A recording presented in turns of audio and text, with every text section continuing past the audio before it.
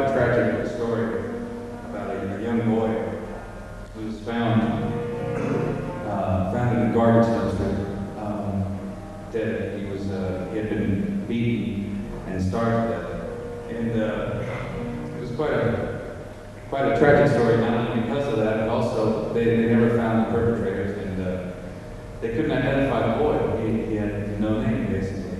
Uh, there was no record of him anywhere and the investigative officer's daughter uh, named him Lollipops. And um, uh, this song was written, um, I guess it's a tribute to him. And uh, in that time in Miami, which, which was, was pretty tragic. And the, the song is called Children. And uh, I'm pleased to say that, uh, that the song has been uh, chosen uh, for a charity called The Children Will Never Forget. And uh, if that helps uh, some kids out in the future, then we've done some good. And I'll play the song right now. It's off our first SDA. It goes like this.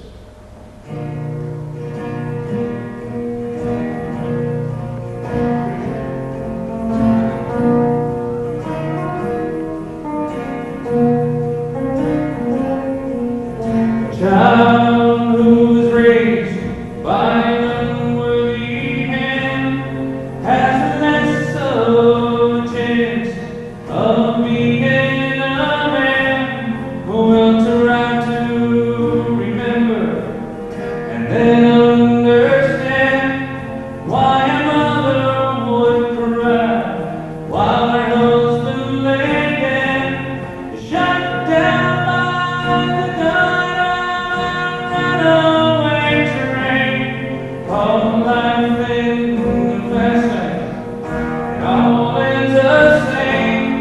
Well,